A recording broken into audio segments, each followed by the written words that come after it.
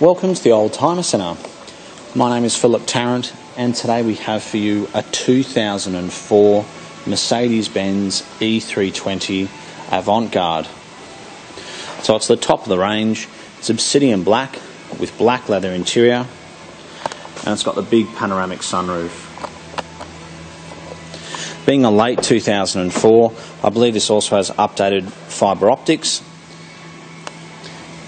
and it's got the much newer stereo system with Bluetooth capability. These came standard with memory electric seats. It's got the 3.2 litre V6 engine, navigation, front parking sensors, rear parking sensors, and it's actually got the slightly newer E-Class wheels, which look fantastic. They're one of my favourite wheels on the W211 series. The interior is in very good condition. The car's done 96,000 kilometres since new, and it's got a very good service history to it. Every service has been done at the dealer except for the very last one done at a local specialist. If you're looking at E320s, I think you'll find that most of them are silver, so we're very happy when this came along. It's also got uh, split fold rear seats. See how you've got this here? You simply pull that and the back seat folds down. It's got factory parking sensors. It's got a few little you know, marks and things on it. The car has just come into us this morning, so we will give it a detail. But looking down the sides, it looks very good. And the other thing we've found is that the avant-garde is actually quite rare. Most of them are an elegance.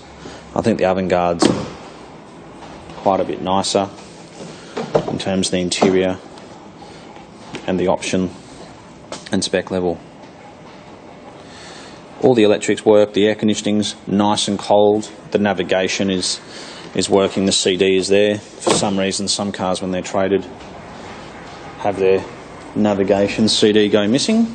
I'm not sure why. It's got driving lights. The Avant-Garde also has this water jet here, so at the click of a button it comes out and just sprays water on the lights. It's only a small thing, but it is something which is on the avant-garde, not the elegance. But if you have been looking for a W211, I think you should definitely come and have a look at this car. It's got four Continental tyres on it in good condition. Other features include speech recognition, which was an option as well.